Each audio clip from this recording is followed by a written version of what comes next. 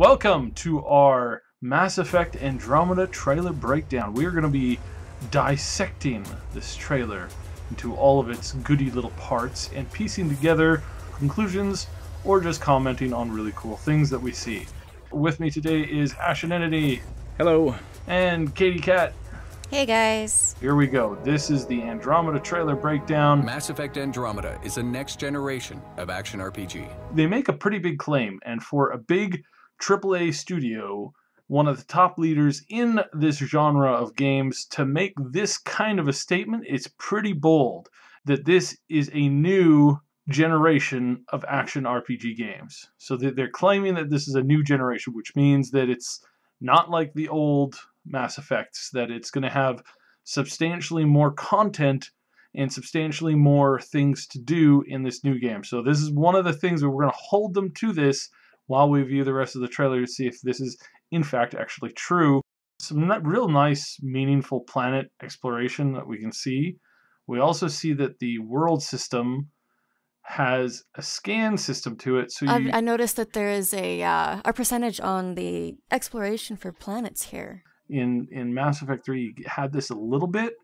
Um, but now they've kind of like they've really expanded on this, so you're gonna have a ton of stuff to both explore visually, and then also with this scan device, you can scan plants and, and things like that on the planets, um, and wildlife and a couple other things, which is kind of has reminded me a little bit of No Man's Sky, but okay, yeah. you're still you're still able to ski, scan each planet and possibly like um, drifting objects in space. That that was a that was a really cool feature that they had before that I kind of like. You kind of like take your mouse and you kind of like scan the whole solar system, like Uh-huh. between all the planets and and see if you can find like ships floating out in space or Yeah. derelicts or hidden space stations. That might be a really good thing, and we will uh, we'll love to see if that's where they're going with this. But in Andromeda, resources are scarce, worlds are hazardous or outright uninhabitable. Every planet has its own story. I think we're going to see some massive, absolutely massive worlds that um, I'm hearing were core areas on the worlds were, of course, you know, hand created and designed, but a lot of the areas were procedurally generated, which means that there's enormous areas to explore for resource gathering or whatever, or just you know taking you from point A to of interest to point B of interest and discovering things along the way that kind of gives it a, a sense of you know mystery and more things to explore more you know oddities and, and coolness factors This is so cool. Who's that? That looks like a. Is that a female? yeah that is a female turian uh, the main reason that we know that this is a female turian is that she doesn't have these extended uh, head shield bones the male turians have a looks more like a, a like a 1950s comb over or comb back style hair Okay, so there's piece. there's definitely a distinct difference, eh? Yeah, it's not a Yeah. it's not a massive difference, but But it's um, enough to it's enough to notice. Yeah, we did not see this uh, gender of this race in the first two games, Okay. and we didn't even see it in the third game until they did a DLC pack. So it looks as if one of the main companions here in Mhm. this game is going to be this female Turian, which is awesome because one of the best companions throughout the series originally was uh, was a male Turian. So okay. she doesn't talk, so we don't hear her voice in this trailer. But uh, I gotta say, she looks pretty good. All right. Yeah, I agree. She does look pretty good. Looks like a great horned lizard to me. Oh wait, Yeah. no, I'm looking at the sorry, I'm looking at the guy on the left. Yeah, Um, well, well, let's talk about the guy on the left here. You'll notice that this guy has uh, a whole bunch of like bones attached to his armor. So this is a much more tribalistic version of this race. So uh, the Krogan, I believe this Krogan's name is Drack. We we know that from some leaked stuff that came out. Yeah. Uh, but it looks as if he is, uh, first of all, he's definitely your companion, and he it looks as if he's a, a little bit more of a tribalistic, or we might see that he's a little bit more like a little bit more shamanistic in his approach to combat and stuff like that, or he's more predator like. It's interesting to see this side of it because the last two Krogans that we had in our group were very, very much like heavily like technologically bent fellows. It'll be interesting to see what kind of like personality and what kind of stuff he brings to the table here. But mm-hmm. this also means looking at his armor and seeing all the decorative stuff. Uh, in one of the earlier trailers, people saw Krogan take a human and drop him off the side of a cliff. Uh, this is definitely not that Krogan. So Oh, okay. I I would highly I would highly doubt it. I think that's probably going to be some kind of random enemy NPC that we'll will encounter or some kind of weird situation that we'll see. Or, has some sort of like affiliation with the storyline. I want to point this out here and see if anybody else agrees with me in the comments. Uh, we're going to be introduced to the AI or the VI or possibly the Geth. Miss Kelly served in the Alliance with a nearly spotless record. Nearly? She was involved in multiple altercations. I heard this voice and I got Ash to to listen to these this voice and some samples from uh, Legion back in uh, number two, and we were trying to figure out if maybe it's a Geth character. I wouldn't imagine they'd bring the Geth along because they were at war with them, but Yeah. there were factions of the Geth that were s- more or less friendly, and I could imagine some of them coming along. So that's interesting. I'm very interested to see uh, what everybody else thinks. It sounds very much like an AI. Like it sounds. Yeah. It reminds me of Cortana. Um, Yeah, that's exactly what I was thinking too.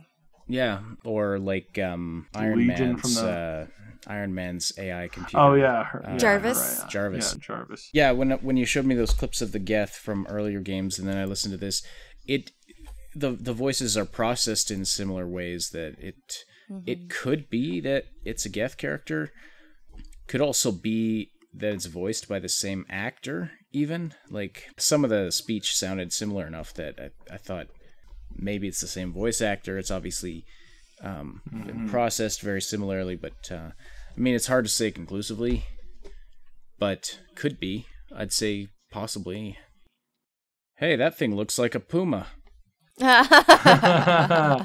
so this this vehicle is a much better improved like the from the look of it the handling is much better the the graphics are a lot better the you got some dirt flying up from the wheels it it looks like it's a pretty pretty fun tool to run around with Scanning tool. at first I was like, oh, you, that horrible scanning tool from No Man's Sky. But I think what we're seeing here is that we're seeing you can see these footprints that the character is tracking. okay, I see it. Yeah, and I think this is going to help us with some puzzle solving in some of the dungeons. puzzle And, solving, tracking. yeah, I think we're going to see a handful of that coming in Yeah, and here it's highlighting the body and so there's Yeah. like mysteries and puzzles and uh, your scanning tool might help in those things and i hope that's the case because if it was just to scan local wildlife and minerals i would i would not be a happy camper so that's cool that's good that means that it's Yeah. got like a it's got a reason for being there beyond just filling random content in the, in the gathering and, and crafting all right, moving on here. We're going to check out some of this combat stuff here. So we got some flying ships now. Uh, that's pretty cool. Got the drones back again. That's awesome. this is looking The- those, interesting. sh- those drop ships look so much like the ones from Halo. Yes. I this was thinking I'm is- getting the Halo feel of this too. this is- And this The- sort of Like, I, I do want to point out, though, I do want to point out a small fact that that there is such a thing as like aerodynamics and and the smoothness of building ships. So I, I will kind of give them a pass on on the fact that some of you know some sci-fi ships look similar because there's reasons why certain sci-fi ships look similar. It's just like a design thing. But Yeah. true, they do look very Halo-esque, and um, some of these monsters even look a little Halo-esque. Down here in the combat HUD, we also see the two pictures of the two companions, so that's cool. Okay. Um, the combat looks so so much better than the previous titles. One thing I do want to comment here is you saw the charge here that happened. Um, this is one of my favorite abilities from the Mass Effect series. It's a, it's a Vanguard ability charge, and so this means that that ability is definitely in the game. We can see here that you can charge up to different levels. That's pretty cool. It was kind of there in the third game, and, but this is this is a much more streamlined version. And is that a sword I see? Or are you just happy to see me? No, sorry. That I wow. we're gonna we're gonna play this again a little slower. That is a sword. That's not an Omni tool claw that you saw in Shepard in the third and the second one. This is um, this is a an Omni sword blade, which is an actual like weapon uh, that I've been hoping to see kind of make the transition from the the Omni blades and the um, the swords that the Phantoms and the Assassins had in the in the Mhm. previous game. But this this is awesome. This is pretty cool. All right, I do want to point this out here. Look at this. That dude just ran through the Hydra. Gotta shame. Bioware. Shame. You just had an NPC run through a Hydra like it wasn't even there. Much more in-depth gathering here. You just scan the, the local flora and fauna, collect it. There is a limit as to how much you can collect. I do kind of like limits. What do you guys think? Limited inventory space is more immersive, Mm-hmm. but inventory space is one of those areas where I'm willing to make a bit of a sacrifice on realism for the sake of better gameplay, Yes. for the sake of less Yeah, tedium absolutely. kind of thing. Now, I really like this monster here. Um, you know, we had more in-depth gathering, and here we've got more in-depth dying. Am I right? Oh, she just got ate. Yeah, she did. That was not that was not fun. The thing uh, reminds me of a rancor. Yeah, it's a, it's a little rancorish.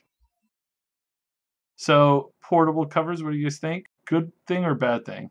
Depends on how long it's able to work for. Here, just right after this, we've got the world's dumbest raider. Yeah. He's just walking right through the flames and walking like right up to. We've got portable covers.